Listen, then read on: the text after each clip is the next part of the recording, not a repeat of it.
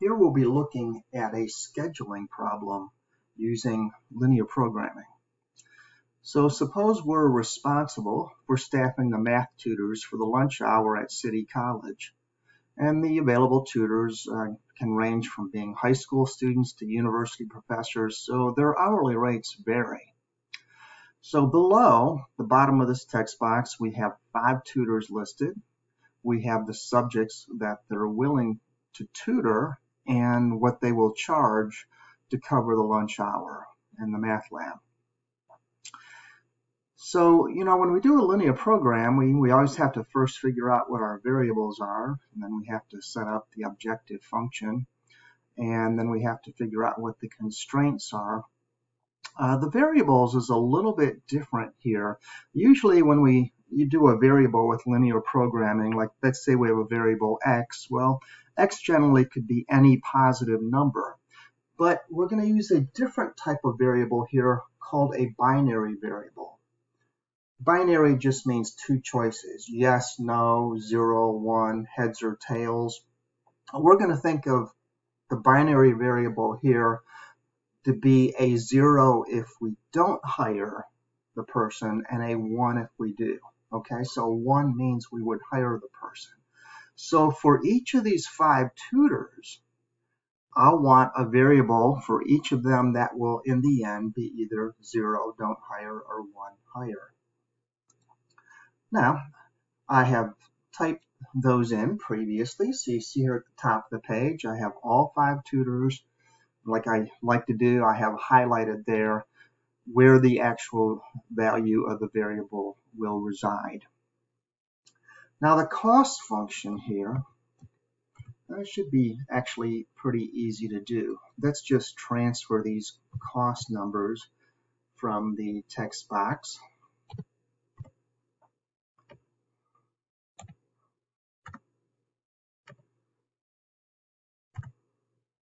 Okay, so we have here our 75 through our 15. And in order to work out the total cost, we could just do the sum product of the two lines that we've established. So we'll do the variable cells and we'll do the cost and enter currently the total cost is zero. Now you might not have completely understood what I was talking about with the binary variables, so let's test something here. Now this is just to cover a lunch hour, okay? So no one can work more than one hour. Let's say we do hire Al so that Al works. If Al works, then that's a zero. I'm, I'm sorry, that is a one. And notice where our cost is updated to $75. If we don't hire Jill, then she's a zero and the cost doesn't go up at all. If we do hire Cal, one means we hired him. And so we put in a one there. Notice that would be 75 and 30 for 105. So when we're all done with this problem, we should have a sequence of zeros and ones, and the ones will tell us which of those five need to be hired. I just go and clear these out. All right. Now, what are our constraints here? Well, it's not so much that we're limited in anything. You know, all five of these people are willing to uh, to be hired, but we have certain requirements. We said we have to make sure that all the subjects will be covered by whoever it is that we hire. Now, if you go through the list of these courses, um, and start jotting them down, you'll find that there are actually seven different subjects represented here. And I typed them uh, here in, in column A. Algebra through statistics covers everything which is in this list here. Now what I'd like to do next is for each of these five tutors let's just look in the column and let's let's check the appropriate boxes. So um, Al can cover calculus or probability. Okay, so I'll put a 1 there for calculus and a 1 for probability. Jill, algebra, and geometry. Okay, now Cal arithmetic. Okay. Geometry. All right. And statistics. Next person, business math. And then probability and statistics. And then finally D is arithmetic and algebra.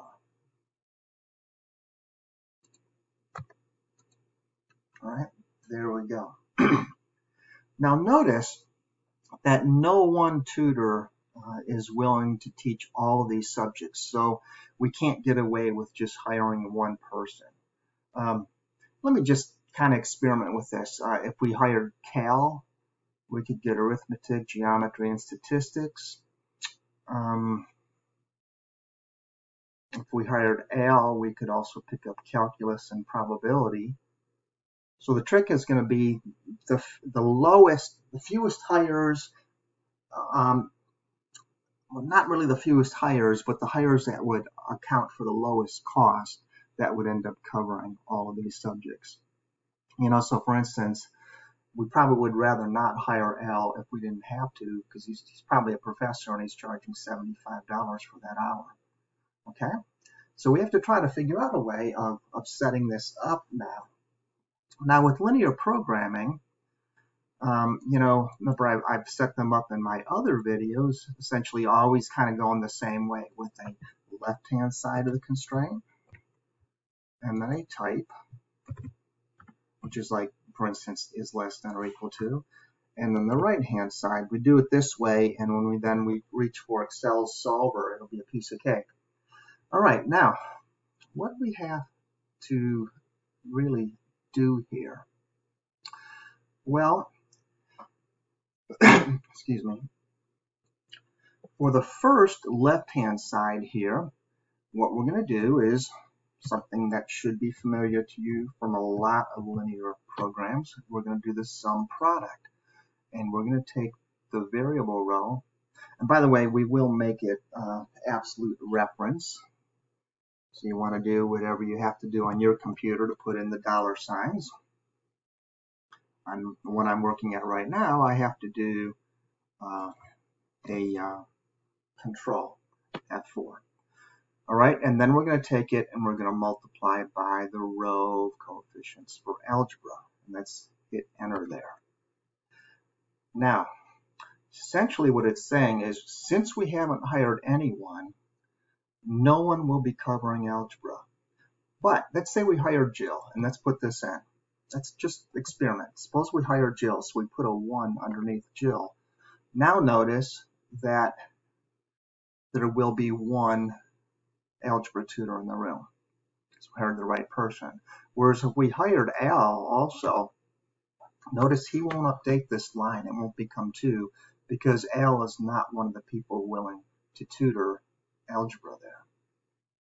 All right, so logic looks good. We'll just clear those contents out and we'll go and we'll copy this formula down.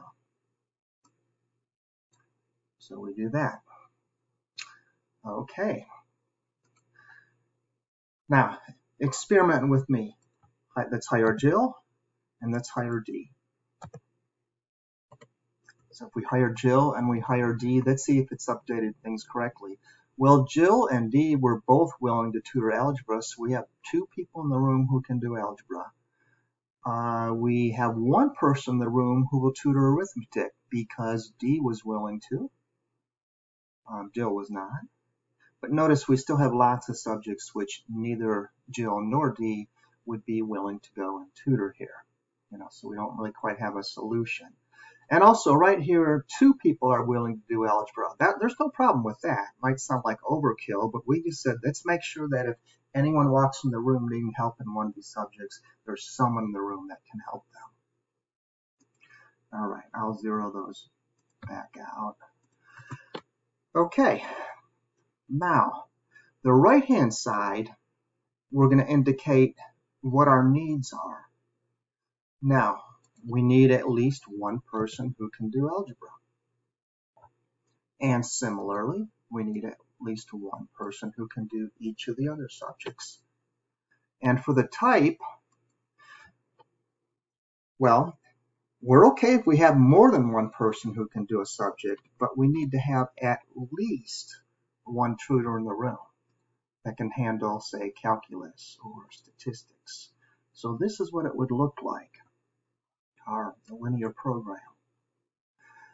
Now, let's go to our solver and let's see what happens. Let's see if it, if it solves a problem in a way that's satisfactory to us. So of course we go to data, we have our solver um, already installed. As usual, I've used this all the time, so I need to reset everything. Okay, so um, let's get to work on this. Our objective would be this cost function that we set up. We definitely want to minimize cost, and our variable cells would be these this little row here, which will tell us if we're going to hire people or not. And now for our constraints, they're all greater than or equal to, so it'd be very easy to go and add those. Click your add, and you can grab all, what was it, seven of them, change to greater than or equal to, and then grab all seven of the ones there. And we'll click OK. Uh, Non-negative, that's good. Simplex, that's good also. We'll try solve says it's found a solution, all our constraints and optimality conditions are satisfied. Just means from a mathematical viewpoint, nothing is wrong. Let's look, let's look at our answer. Uh, our total cost would be $160. Notice here, everything is being covered. We needed one person, we have more than one. But what about these 0.5s here? We look at the hiring situation. One means we hire Al, one means we hire A from accounting, but Jill, Cal, and D, we kind of wanted these to be ones or zero, meaning hire or not hire. Well, uh, you, now you might look at it and go, no, this is okay. Professor, no problem. We've got 0.5s. That just means we hire them for a half an hour. But you see, the reason I didn't want the problem to do that is the tutors are unwilling to work for less than the full hour. Okay? said that right in the problem there. So, you know, look at this way. If someone has to drive 15 minutes to get there, may not be worth it to them to just work a half an hour. So we have to have a way of fixing this so that it won't give us answers of 0.5. And fortunately, that's a very easy fix. Go back into Solver, and I'm going to show you how to add a constraint that will force the variables to be either 0 or 1. So click your Add, for the constraints. Now select all five of the variable cells. And in the middle here, something we haven't used before. It is BIN. If you click on BIN, it explains that means binary, 0 or 1. So just by making all the variables binary and then rerunning it, Found a solution. Oh, okay. So if we're not allowed to hire people for half an hour, notice what we have. Al and Jill will be hired. Cal's the only one who's not going to be hired. So it turns out we had to have Al on board. I wonder why that is. Well, if you look at the original chart, when it comes to calculus, Al was the only one who was willing to tutor it. You know, so he was absolutely essential there. Okay, so that's how we could minimize the cost. Now, before we sign out, just want to point out this problem, this sort of situation can be made a lot more useful than it sounds because let's say I'm in the real world. Um, if I were staffing a math lab at, a, at my university, I would probably have more restrictions than just saying make sure there's someone who can cover these things. Most students who go to math lab are looking for help in algebra or in my experience, statistics.